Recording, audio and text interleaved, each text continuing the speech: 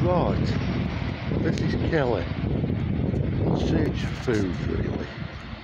Now, as times are hard these days, as you know, everyone's going to food banks.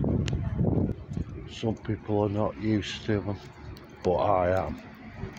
I've been in hostels from the age of 16 and I've had to basically fend for myself really.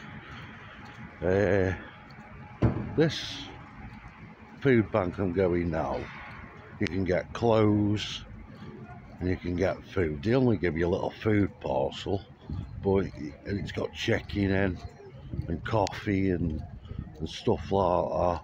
All your essentials to keep you going.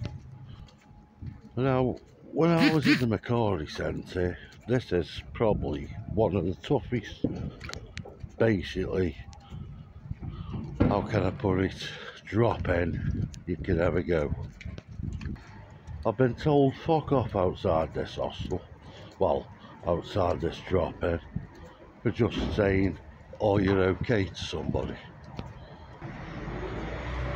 No, I won't go in phone, basically, because if they see me, pictures of them, they'll insert the phone completely up my arse and basically I'll be spitting out for a week. So that is not the best option to do.